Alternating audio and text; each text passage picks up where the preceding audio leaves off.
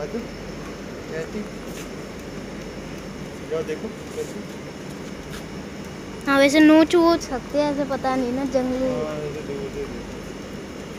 कहती drinking milk chocolate milk hello कहती ऐसे डरती नहीं है इतना। कुत्ता आवाज़ दे जाता है ना।